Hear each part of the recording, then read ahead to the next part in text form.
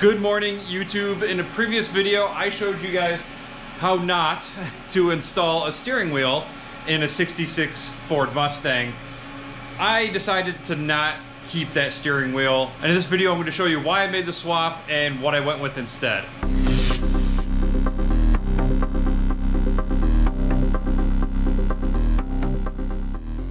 So here is my new steering wheel. I really like this one a lot. I can't say love because it does have a little flaw, which I'll talk about in a minute, but I really like the positioning of it. It actually sits back about an inch. So it's a little further away from me, which I really like. Another really interesting thing about this one compared to the other one that I installed is that it's almost shaped a little bit more like an egg, I guess, where it's just a little taller and I can actually see my gauges which was one of my complaints I had about the other steering wheel, and this one is actually much better. Some other complaints I had about the other steering wheel, it was all metal, so it would get hot, and it would also get really slick. And it gets hot down here in Tennessee, and I do sweat. and if I was going around a turn, my hands were constantly slipping. And I didn't really like that. It really wasn't safe. It was also a thinner diameter, and I wanted something more substantial to grab onto.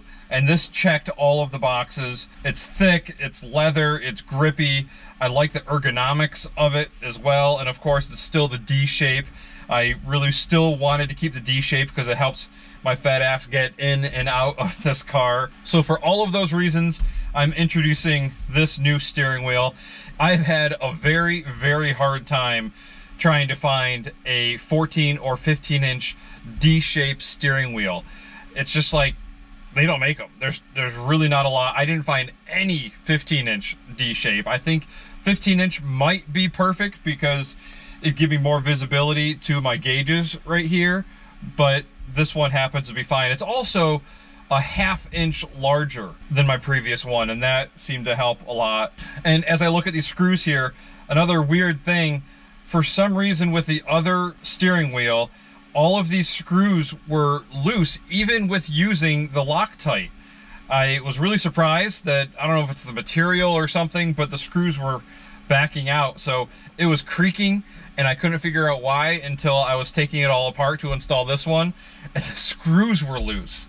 Oh, and my last complaint about that before we move on is that the seller that I bought it from on eBay charged me a restocking fee. I told him it was used, he accepted the return, and he got it and charged me a 20% restocking fee. So, F that guy. That sucked.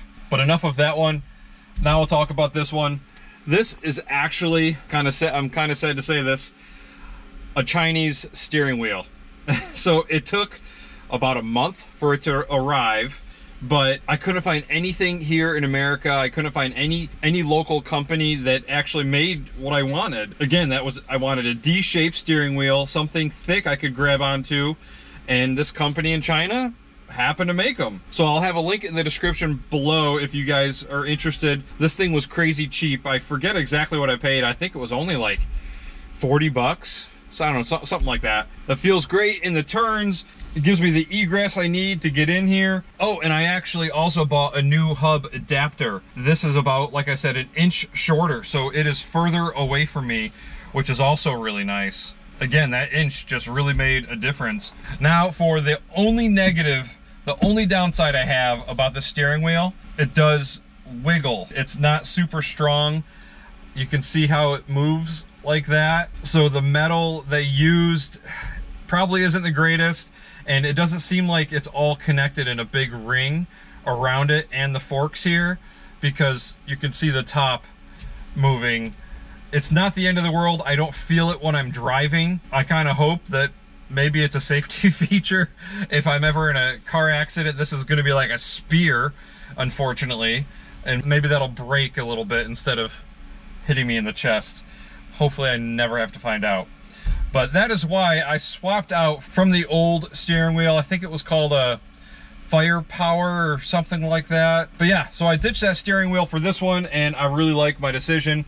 I'll have links in the description below in case anybody wants to go with this. This adapter was really easy to install. The steering wheel is really easy to install.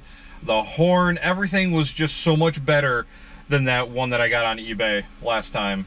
But thanks a lot for watching, guys. Feel free to like, share, subscribe, and I'll see you on the next one. Bye.